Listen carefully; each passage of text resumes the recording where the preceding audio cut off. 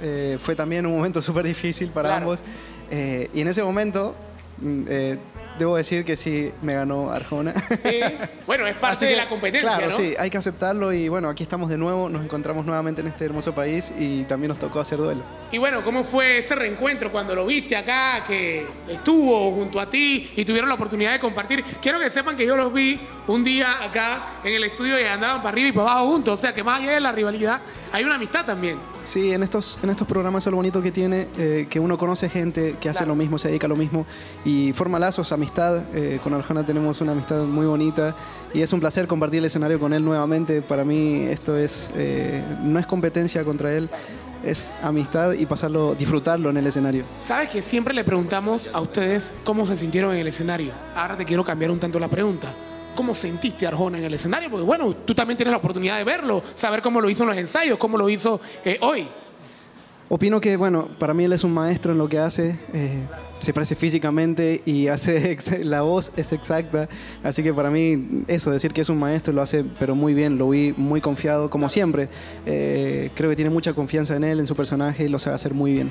Bueno, ahí está. Entonces vamos a pasar con Gladys, que está justamente con Ricardo Arjona. Tengo cosas, cositas que decir, porque aquí me dijo Ricardo Arjona que le, que le ponchó las llantas del carro, Luis Fonsi. Y míralo cómo se ríe. No, me- mentira, miren, aquí detrás de todo lo que está pasando en, el, en la zona interactiva, una de las cosas que me encanta es que realmente podemos ver esos rostros y esas primeras impresiones de nuestros artistas. Y cuando entraron, les decíamos, oye, tremendo duelo. Y mi amigo Ricardo Arjona por acá me dice, de verdad, bien difícil. O sea, ¿Cómo tú puedes decir que fue la presentación de Luis Fonsi? Porque ya viste que Ramiro hizo la pregunta. Tengo que preguntarte y que me seas bien objetivo. Bueno, yo tengo que confesar que a pesar de que ya nos enfrentamos una vez, cada vez que, me le toca a Luis Fonsi antes que a mí, lo, lo hace tan bien que hace que me olvide la letra. Wow.